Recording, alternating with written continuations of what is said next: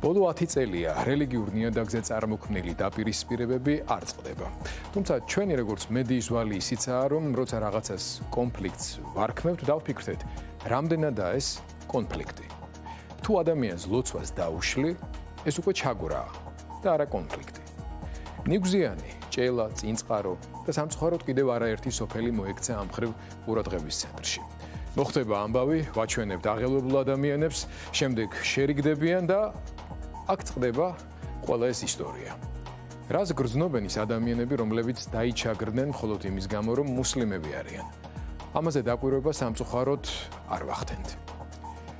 მე-19 საუკუნეში აჭარის საქართველოს წიაღში დაბრუნების პროცესი არ იყო მარტივი და ციდან მოვლენილი საჩუქარი. მემე დაბაშიძე, ილია ჭავჭავაძე და კიდევ საქართველოს ისტორიაში გამორჩეული მასშტაბის ზღვაწლის მქონე არაერთმა პატრიოტმა შეძლეს და მოახერხეს არამხოლოდ მიწის, არამედ ჩვენი დაკარგული ძმების დაბრუნება. თუმცა სამწუხაროდ ბოლო 30 წლეულში წარმოებული ეთნო-რელიგიური ნაციონალიზმის პოლიტიკამ მრავალი ადამიანი გარიყა. დროების გადამღები ჯგუფის წევრებმა, დავით თამაზაშვილმა და ლაშა ჭონქაძემ გასული კვირა აჭარაში გაატარეს და შეეცადნენ მოეთხრო თქვენთვის იმაზე თუ რას ნიშნავს დღეს იყო ქართველი მუსლიმი.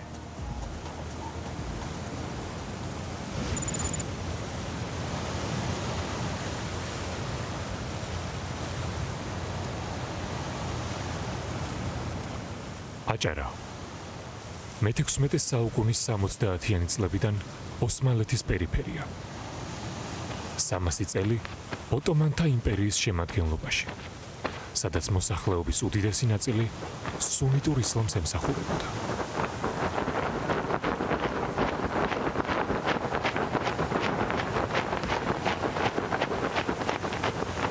რამდენი ხანი გავიდა, ხო? აა 300 წელს გვახსენებენ ძალიან ხშირად იმ 300 წელს, რომ აი 300 წელი, კი, 300 წელი იყო. ჩვენ არ ვამობთ, რომ არ ყოფილა. ეს ჩვენი წარე ისტორია არის, თუმცა იმ წარე ისტორიის პასუხს რო დღეს ჩვენ გვთხოვენ, ეს არის ცოტა უხერხული. მე ესე მგონია. პურიე, ნესტანი, ლია, აჰმედ ხოჯა, ასლან ხოჯა, ზაზა ყველანი ამ კვირას გავიცანი. წავედი აჭარაში, ვესტუმრე ქართველ მუსლიმებს და ვიცადე იმ ხილული თულხილავის საზღვრების გადალახას, რომელშიც გავხლართულად და რომელიც მოსაშლელია. ჩემი პირველი კითხვაც იმის მცდელობაა, რომ დაგანახოთ და გაგზნობინოთ. რა სევდას დაატარებენ ეს ადამიანები? ჩვენი ახალგაზრდობის 80% წლებია ქუჩაში ლოცულობს. ეს არის დიდი დარდი და დიდი ტკივილი.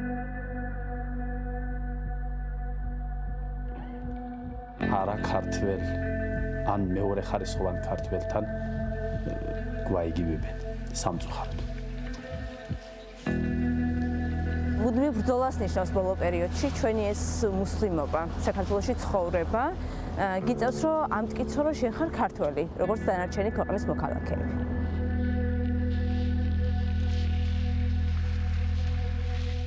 გრძნობ სახელმწიფოს მხრიდან დამოკიდებულებას, როდესაც მხოლოდ და მხოლოდ აღგიქვამენ როგორც სახელმწიფოსთვის საფრთხის შემცველად. ეს ნიშნავს იმას, რომ ითმენდა რაღაცა იმას, რომ ვიღაცების ზემოდან გიყურებენ მარტო იმის გამო, რომ რაღაც განსხვავებული რელიგია აქვს და არც კი იცნობენ ამ რელიგიას, ანუ არც კი უნდათ გაიგონ, თუნდაც რატო ვარ მე მუსლიმი.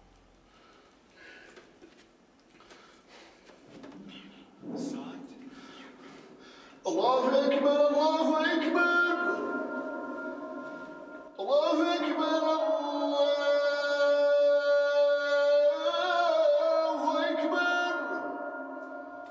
Ალბათ პრობლემის თავი იმაშია, რომ მრავალი და მრავალი საკუთარ ქვეყანას და თანამოქალაქეებს არ ვიცნობთ. აჭარა მხოლოდ ბათუმი არაა. გაცდები ბათუმს, ახალ მაღალ მთებში და სწორედ იქ გრძნობ. რა არის აჭარა? შადუ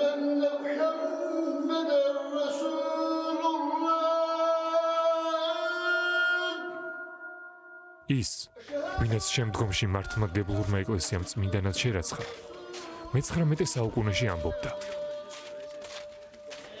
ჩვენ უნდა მივიღოთ ჩვენი ძმები, ოსმალოს საქართველოსში მცხოვრები. დღეს მაჰმადიანის სარწმუნოება უჭირავთ მათ. ოღონდ მოვიდეს კლავის ბედნიერი დღე, როდესაც ჩვენ ერთმანეთს კიდევ შევუერთდეთ. ერთმანეთი ვიძმოთ და ქართველი ჩვენ და სასიკადულოდ კლავ დაომტკიცებს ქვეყანასა, რომ იგი არ ერჩის ადამიანის სინდის და დიდი ხნის განშორებულ ძმას, ძმურადვე შეითვისებს. ილია ჭავჭავაძე. კაცი, რომლის სიყვარულსაც მრავალი იჩემებს. თუმცა გამგონი, გამგონი არც ისე ბევრი ხავს. ჩემი ძმები ცხოვრობენ გურიაში. და როდესაც 99 წელს იქნა ჩვენი ხალხის იქ ჩასახლება. გავიდოდით საზოგადოებაში თქვენ რა ქართული იცითო? კითხვებიც მოდიოდა ესეთი. ეს არის ჩვენთვის ძალიან ძალიან ტკივნეული. ბევრ ევროპულ ქვეყანაში დომინანტი კულტურული თემის სრულუფლებიანი წევრობა კვლავაც ეთნიკურ წარმომავლობასთანაა დაკავშირებული. ასია საქართველოსშიც მაგრამ აჭარლები ხომ ეთნიკურად ქართველები არიან. მაშინ რაშია პრობლემა? არ შეიძლება ქართველი იყოს მუსლიმი. დამოუკიდებლობის გზაზე შემდგარმა ქართულმა სახელმწიფომ არაერთი შეცდომა დაუშვა. ფორმულამ, რომ ქართველი მხოლოდ მართლმადიდებელი შეიძლებოდა ყოფილიყო, საბჭოთა კოლაფსის შემდგომ ისედაც დაბნეულ საზოგადოებას მოუტანა სრული ქაოსი იდენტობის. კითხვაზე, ვინ ვარ მე? პასუხის საპოვნელად მრავალმა ადამიანმა რელიგიისკენ იბრუნა პირი. დარახან იდენტობაზე ჩამოვარდა საუბარი. ვეკითხებოდი ჩემს რესპონდენტებს. განიცდიდნენ თუ არა ისინი იდენტობის კრიზისს. ყოველთვის ფიქრობდი, რომ ვიყავი ქართველი, ანუ ეს რელიგია ჩემთვის პრობლემას არასდროს არ წარმოადგენდა. არა. მათ არანაირი მსგავსი კრიზისი არ გააჩნიათ. ისინი სრულად აცნობიერებენ იმას, თუ ვინც არიან. რისის წამთ და რომელი ქვეყნის შვილები არიან. თითქოს პარადოქსია, მაგრამ იდენტობის კრიზისს სწორედ ის ადამიანები განიცდიან, რომლებიც ქართველთა მუსლიმობას ვერ ეგუებიან. მათ წლებია ეუბნებიან, რომ თუ ქართველი ხარ, მართლმადიდებელი უნდა იყო. უყურებს ეს ქართველი ქრისტიანი, თუ როგორ ლოცულობს ქართველი მუსლიმი და სწორედ მისი იდენტობის კრიზისი დგება. რადგან ხედავენ, რომ ზემოთ ნახსენები ფორმულა არ შეიძლება ქართველი იყოს მუსლიმი არ მუშაობს. თუ კი ვიღაც ამ ადამიანებს არ მოძღრავს სწორად გამიგეთ ძალიან ეს. იმის გამო თუ ეს ხალხი ხო წლები ალოცულობდა თვეები 10 თვე ალოცულობდა ბუკნარში. 10 თვის შემდეგ რა შეიცვალა? ანუ რაღაც არის ვიღაც არის ეკლესია ვერ მოუწოდებს იარაღისაკენ და ვერ მოუწოდებს ბრძოლისაკენ. ეხლა თუ ვიღაცას წაუწდა ხელი, ეს იმისი ბრალი იქნება, ვინც გააღიზიანა ის. ის ეკლესიის ბრალი ნამდვილად არ იქნება. არაერთი მღვდლის ქადაგება ხშირად განსჯის საგანი. მათი განხილვით თავს აღარ შეგაწყენთ. თუმცა ერთ რამეზე კი ღირს დაფიქრება. ეს ქადაგებები უმეტესად აგებულია შიშის თესვაზე. მრევლს აშინებენ ანტიქრისტეთი. დასავლური სამყაროთი, მასონებით, ურჯულოებით და აღარ ჩამოთვლი კიდევ რამდენი რამით. ყოველივიდან გამომდინარე, ეს დაუცველობა მრევლში წარმოშობს შიშს. ხოლო შიში ცვლილებების შიშს, დასასრულის შიშს, უცხო და უცნობის სამყაროს შიშს. ეს კი ანადგურებს ნდობასა და ურთიერთკავშირს. ანუ შეგრა იცხოვრო მე ვუშვებ შენი თქვა ამიწაზე არსებობის უფლებას მაგრამ არა ინფორმით როგორც შენ გინდა ანუ შენ კი იცხოვრე მაგრამ ნუ ილოცებ ნუ გამაღიზიანებ ნუ შემაწუხებ ანუ იყავი მაგრამ იყავი უჩინარი მე არ დაგინახო რომ გარეთ ლოცულობ და ანუ რიტორიკას რომ დავაკვირდე სახლში ილოცონ سمع الله لمن حمده الله اكبر მე მგონი რომ ეს არ არის შეხმატკბილებული მეზობლობა ეს არის უბრალოდ ატანა და სიჩუმე მუსლიმი თემის. ანუ იქ კონფლიქტები სადაც ჯერ არ განხორციელებულა, არ განხორციელებულა, იმიტომ რომ მუსლიმი თემი არის ჩუმად, ან აქამდე ითმეს. ან თვითონ რაღაცა, აი, როგორ ვთქვა, აი, ერთი ნაბიჯით უკან არის, ხმას არ იმაღლებს, არ იბრძვის და ამიტომ არის იქ სიწყნარე. თითქოს თავარი ღერძი თვითონ არიან და ჩვენ ვართ რაღაცა პატარა ნაწილი, რომელსაც როგორც მათ სურთ, ისე მოგვექცევიან. სამსახურში თუ მიდის ნუ იტყვი შენ მუსლიმი ხარ. რატომ? ქართველი მუსლიმი ვერ იქნება. მაშინ შენ თათარი უნდა იყო ქართველი ქრისტიანი უნდა იყოს აუცილებლად. რადგან ერში ეს შესაძლოა ძირძველი ეს არის. სტუდენტია და იგივე ქადაგება. ჯარისკაცია და იგივე. სკოლაში მასწავლებელია და იგივე. ბავშვები ბაღიდან ქალაქებში. აა ჩვენ ქრისტიანები ვართ. შემოვიდნენ თურქებმა ძალით გაგვამუს გაგამუსლიმანეთ. აქ ჩეხეთ გაკ ჩეხეს ასე გააკეთეს ისე გააკეთეს. ერთდაგვარად ეს ტერორია და მოქმედებს საზოგადოებას. შეიძლება ბევრი თამამები ვერ გამოხატავს მაგრამ ბევრს წვენია რა ვქნა მე კარიერა მინდა ამ ქვეყანაში რაღაცა წვერვალს მინდა მივაღწიო მაგრამ ეს ხელს მიშლის.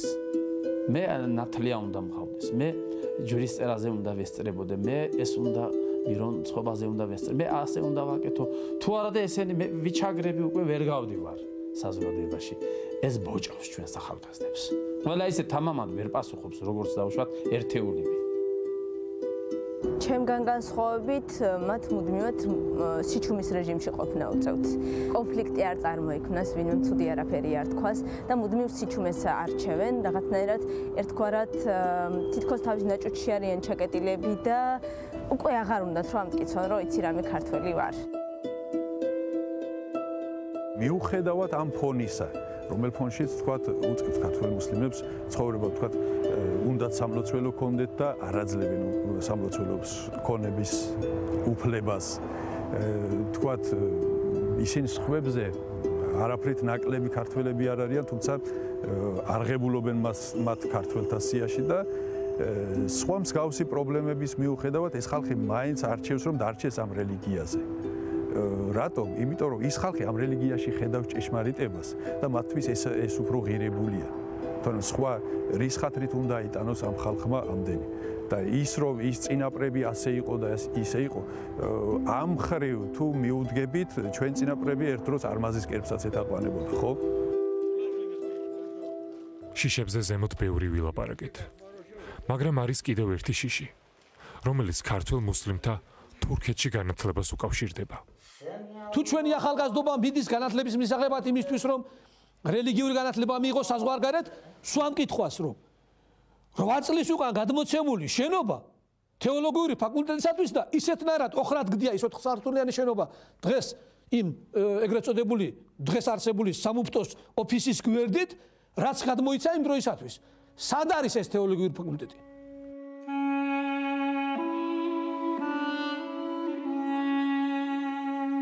ის რაც მოხდა უახლოეს წარსულში ბუკნარის მოვლენებიდან გამომდინარე ჩვენ ვრიგდებით და ვართვამთ ხელებს და რამდენი ასეთი ხელის ჩამორთვება მომხდარა წარსულ წლებში იგივე ნიგზიანთან იგივე ჭელასთან იგივე სოფელადიგენთან მიმართებაში და რამდენი ერთი ჩამოვთვალე თუ შენ ამ ქვეყანაში ცხოვრობ და ხარ მუსლიმი არ შეგიძლია ისწავლო შენი რელიგიული დოგმატიკები. თუ არ შეგიძლია ამ ქვეყანაში ნორმალურად ილოცო. და როცა გარდაიცვლები სამწუხაროდ. ეს ქრისტიანული მიწარის და შენ აქ ვერ დასაფლავდები. წაიყვანეთ ხულოში. ხულო და ადიგენი ჩემთვის განსხვავება. ხულო და მარნეული ხულო და ზუგდიდი განსხვავება არ არსებობს ჩვენში. სარფიდან წითელი ხიდის ჩათვლით ეს საქართველოს არ არის ამ საქართველოს შვილები არ ვარ. ჩვენ ყველგან ასე ვფიქრობთ ლოცვად შეგვიძლია სწავლად შეგვიძლია და როცა გარდავიცვლებით დაკრძალვად შეგვიძლია. ყოველიფერი ამ მომხდარი ამბის შემდეგ შევრიგდით და კიდე ძმები ვართ რომელიც მობაზეა საუბარი აქ ან და რომელიც შერიგებას აქამდე არც უნდა მიდიოდეს საქმე მაგრამ თუ დღეს შენ სახელმწიფო დატოვებ ამ ხალხს ქუჩაში სალოცავად. მაგრამ თუ დღეს შენ სახელმწიფო იგნორირებას გაუკეთებ ამ ადამიანების პრობლემებს ხვალდაზეგ ეს მდგომარეობა თავისით არ გამოსწორდება რეაგირება ხდება იმისათვის, რომ ეს გაჩერდეს, დამთავრდეს. ჩვენი მიზანი ამ შემთხვევაში სახელმწიფოს მხრიდან როგორც ჩანს, ან ის ვინც ერევა არის ის, რომ კონკრეტული არსებული პრობლემა გაქრეს. გაქრეს იმ თვალსაზრისით, რომ ამ წუთას ის მოსაგვარებელი არ იყოს. ზუსტად ეს მიდგომა, როცა კონფლიქტის გაგება კი არ გვინდა, არამედ მისი დღის წესრიგიდან ამოგდება, წარმოადგენს ხანდახან უფრო მეტ პრობლემას, ვიდრე საკუთრივ ის, რაზეც ჩვენ აქ საუბრობთ.